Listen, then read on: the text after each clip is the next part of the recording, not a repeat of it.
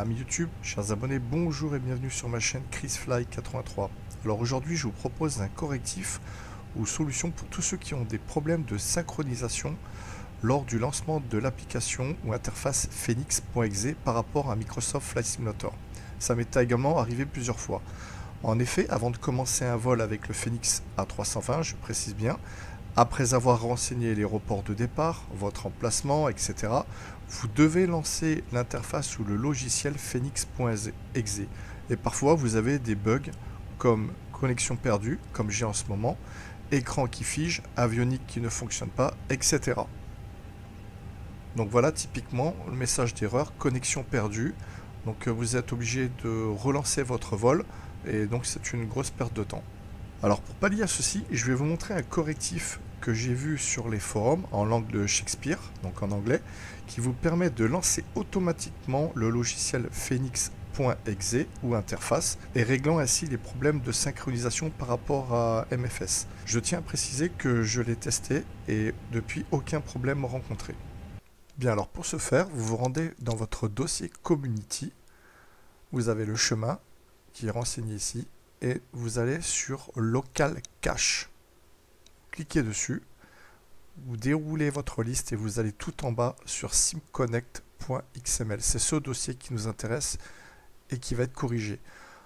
Je vous conseille fortement de sauvegarder ce dossier et de le mettre sur votre bureau. Par exemple, moi j'ai créé un dossier sauvegarde max client 64. Voilà, vous l'appelez comme vous voulez. Et j'ai copié ce dossier et je l'ai collé à l'intérieur. Comme ça, mon dossier est sauvegardé car si jamais il y a un souci, vous pouvez le remettre ce dossier initialement, l'original. Bien, une fois que vous avez fait ceci, vous allez donc sur simconnect.xml, vous faites un clic droit avec votre souris, vous faites ouvrir avec bloc-notes. Ça va vous ouvrir un fichier, une fenêtre, voilà. Vous faites modifier, rechercher, et vous voyez ici dans l'onglet de la barre de recherche, il y a marqué max C. C'est très important, vous devez avoir ça. Si vous ne l'avez pas, vous, mettez max, c'est comme ça.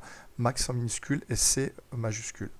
Ensuite, vous faites rechercher, là, et voyez, il s'affiche ici. Et tout, là où il y a tous les 64, vous les remplacez par le chiffre 128.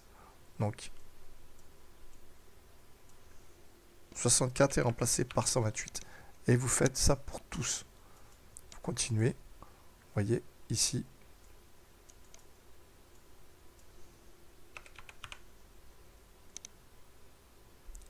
la petite loupe et vous continuez.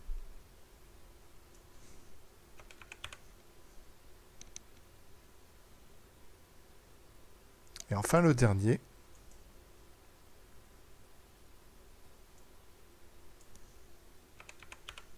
« 128.